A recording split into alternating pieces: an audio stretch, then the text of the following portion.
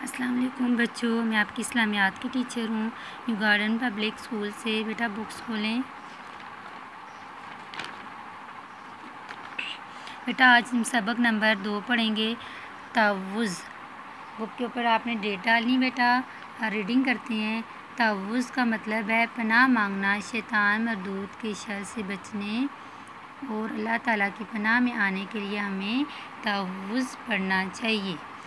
तवुज़ का मतलब क्या है बेटा? पनाह मांगना।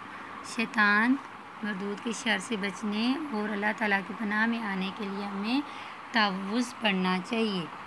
तवुज़ है बेटा, जब भी हम कुरान मजीद की तलावत शुरू करें तो हमें ज़रूर तवुज़ पढ़ना चाहिए।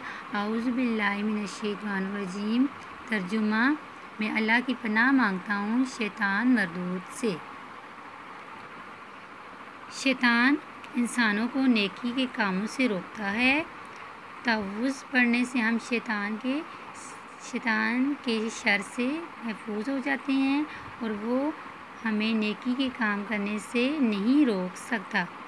तवुज़ का पढ़ना हमें गुस्सा पर काबू पाने में भी मदद देता है। बेटा, शैतान जो है वो इंसानों को नेकी के कामों से रोकता है।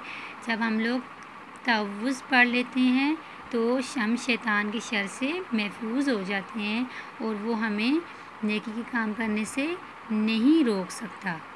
ताउस का पढ़ना जो है वो हमारे उसी पर काबू पाने में भी मदद देता है। बेटा, आपने ताउस का तर्जुमा और अच्छे से रीडिंग करनी है। अल्लाह हाफिज़।